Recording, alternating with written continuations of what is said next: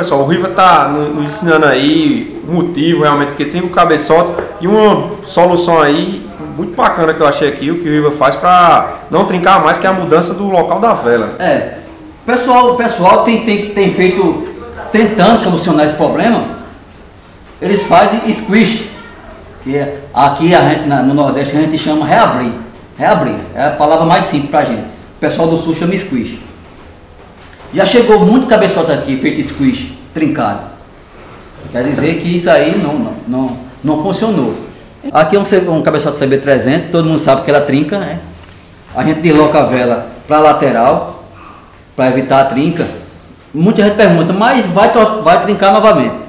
Rapaz, eu vou te dizer, eu já tenho feito mais, feito mais de 100 cabeçotes desses, que eu me lembro assim, eu acho que foi dois ou três, que voltou, deu retorno, mas não foi por trinca, nem lo- local original, nem onde a gente fez, foi por causa da sede, o material foi fraco, isso aí eu reconheço que foi um, um erro da gente, mas a gente corrigiu, e até hoje não volta mais.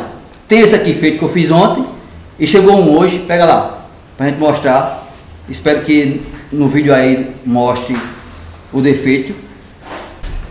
Pronto, aqui tem um que chegou hoje, que não sei se vai dar para ver aqui o trinco dele aqui, no pé da, do pé da vela para a sede, tem, são uma, duas trincas. A gente, a gente tira a vela aqui, como vocês viram, coloca aqui do lado. Aí no Sabe caso muda o quê? Muda o local da, da vela? o local da vela. Se você está vendo aqui que é no meio, quem tem CB300 já passou por isso. O original. Original aqui no meio, a gente tira e coloca aqui do lado. Eu acredito que todo mundo já fez, está satisfeito e, e- e tem divulgado o trabalho da gente.